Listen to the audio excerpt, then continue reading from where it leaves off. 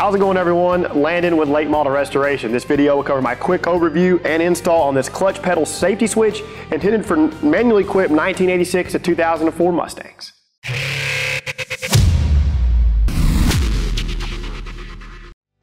If you've pressed the clutch in, turned the key over, and your Mustang still doesn't start, well you're probably a good candidate for a clutch pedal safety switch.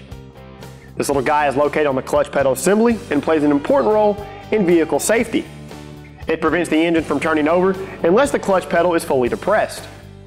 This safety switch features high quality OE grade construction and is a direct replacement for all 1986 to 2004 manual equipped Mustangs. Now, if any of you have swapped or plan on swapping to a manual transmission, then this safety switch is highly recommended to complete your swap.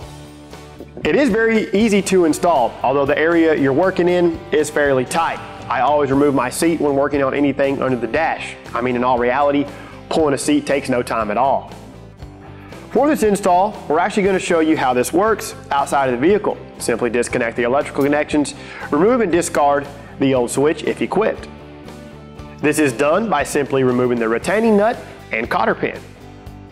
Position the new switch into place and reinstall the retaining hardware. Plug in the electrical connections, give everything a solid once over, and you're all finished.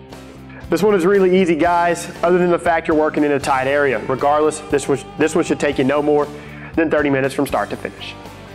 For more informative product reviews and installs, go ahead and subscribe to our YouTube channel if you haven't already done so. Be sure and pick up this clutch pedal safety switch for your manually equipped 1986 to 2004 Mustang at lmr.com.